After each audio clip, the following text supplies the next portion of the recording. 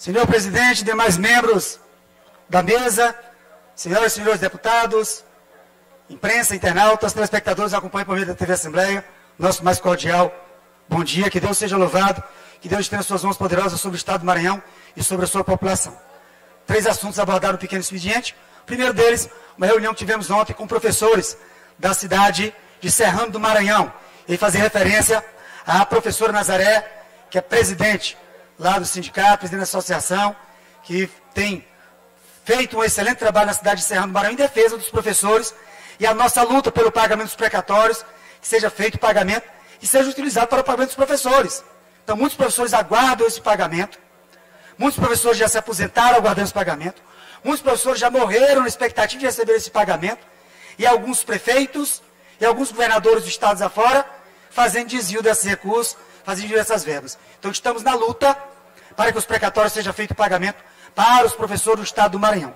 Então, reunião muito proveitosa na tarde de ontem, virtual, com os professores da cidade de Serrano do Maranhão e professores de todos os municípios. Contem com a nossa luta, o nosso apoio pelo pagamento dos precatórios. É uma luta permanente, é uma luta antiga e vamos retomar.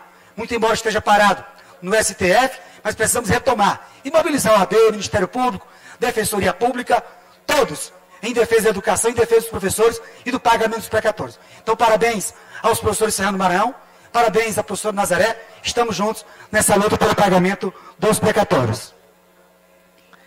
Senhor presidente, no último final de semana, no dia do trabalhador, no dia do trabalho, estivemos na cidade de Mirador.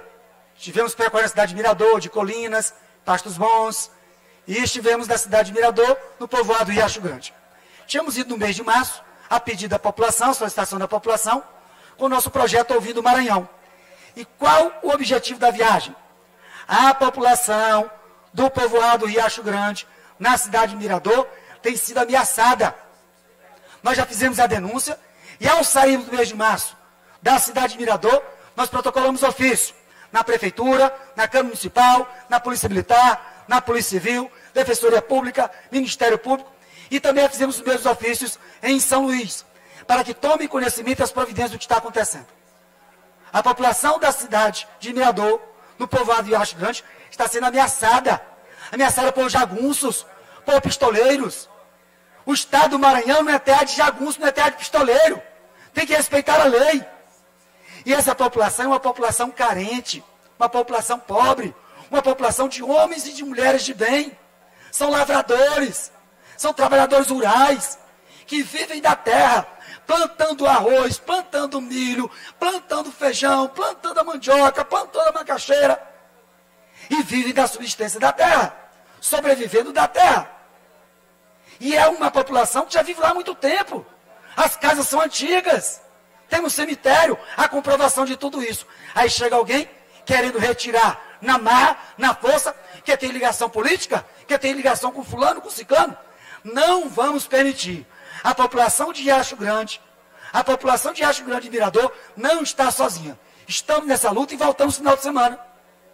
Fizemos uma nova visita, participamos de um almoço coletivo e descobrimos mais irregularidades. Continuam desmatando com autorização de quem? Com autorização do IBAMA? Com autorização da Secretaria de Meio Ambiente? Estamos reformulando a denúncia para a Secretaria de Meio Ambiente, para o IBAMA, para que fiscalize. Estão desmatando, estão destruindo a vegetação sem autorização de ninguém, cometendo crime. Então a população do povoado Riacho Grande não está sozinha. Continuo na luta em defesa da população do povoado Riacho Grande. Que eu fui acolhido, que eu fui bem recebido. Lá é a minha terra, lá é o meu povo. E eu fui bem recebido. E pode ter certeza que vocês não estão sozinhos. Vamos continuar a luta. Refizemos ofício para todos os órgãos na cidade de Mirador, para que possam prestar os esclarecimentos quais foram as medidas adotadas das denúncias que nós fizemos. Não vai haver derramamento de sangue. E se porventura alguém se prestar ao papel, o mínimo que seja, de mais uma vez amassar aquela população, pode ter certeza que não vai ficar impune. Não vai ficar impune.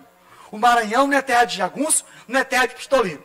Respeite o Maranhão, respeite a cidade de Mirador, respeite as 90 famílias lá do povoado Riacho Grande. a nossa luta em defesa do povoado Riacho Grande.